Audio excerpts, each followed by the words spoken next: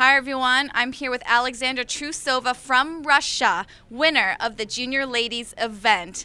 Now, I know you wanted to land the quad sal so bad. I've seen your practices and your fierce determination, but despite the fall, you carried out a flawless, perfect, strong performance. What do you think about your skate today?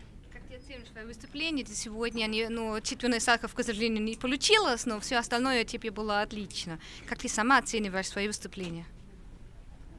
Я расстроилась, что не прыгнула четверной Сальхов, но в целом я довольна, потому что выиграла этот финал Гран-при.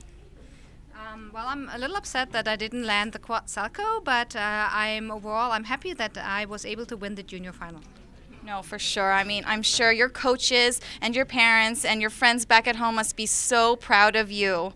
What do you think about that? На- Наверное, вот э, сейчас твои ну, тренеры, родители, друзья дома, они все очень рады, что ты выиграла. Уже получила, может, какие-то поздравления, комментарии? Да, и тренеры мои меня поздравили, но есть над чем работать, они сказали ошибки, я буду над ними работать. Yes, my coaches congratulated me, but they also told me that there are some mistakes, so there's uh, still room for growth. There's always room for growth and improvement, I'm sure, but you are such a determined young lady. What are your next steps for the rest of the season? Какие сейчас планы дальше в сезоне? До Нового года у меня больше не будет стартов, я буду учить э, тройной аксель, четверной тулуп и улучшать Сальхов.